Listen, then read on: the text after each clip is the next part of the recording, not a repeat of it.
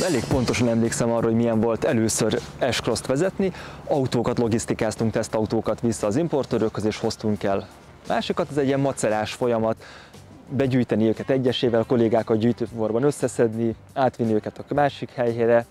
Nem kívánságműsor, én az s egy nagyobb és körülbelül kétszer drágább autót vittem vissza, és azon a 20 perces úton tulajdonképpen mindenét meg tudtam utálni. A motort, a váltót, a futását, a, a hangjait, mindenét. És gondoltam is, hogy velem van a baj, hogy, hogy nem lehet a kedvemre tenni. És utána átültem az i4-es turbós s és így hoppá, hát lehet ezt, ezt jól is csinálni, és azóta is azt gondolom, hogy ha valakinek az autózás az igazából problémák megoldását jelenti, tehát el kell hozni a csomagokat, logisztikázni a családot, el kell mennie esetleg rossz utakon, és mindezt megbízhatóan, olyan fenntartási költségekkel, amik egyébként nem kívánnak különösebben nagy áldozatokat, akkor azt gondolom, hogy az emberek több mint 90%-ának az S-Cross az egy jó megoldás ezekre a feladatokra.